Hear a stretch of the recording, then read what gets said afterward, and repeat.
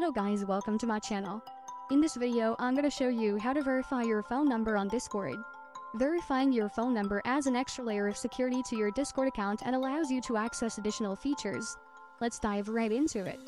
First things first, let's open up the Discord app on your device. Make sure you're logged into your Discord account. Once you're in the Discord app, tap on their profile picture in the bottom right to open your profile.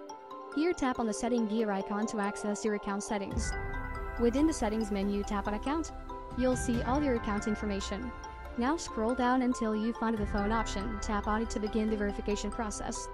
You'll be prompted to enter your phone number. Make sure to enter the correct number associated with your account. Once you've entered your phone number, tap next. Discord will send a verification code to the phone number you provided.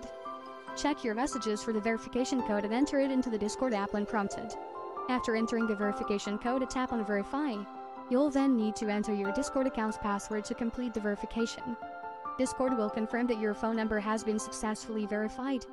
And that's it, you've successfully verified your phone number on Discord.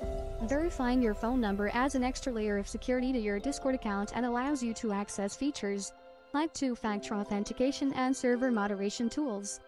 Thank you for watching. If this video was helpful, please leave a like and subscribe to my channel for more videos like this. And click on that notification bell to never miss an update.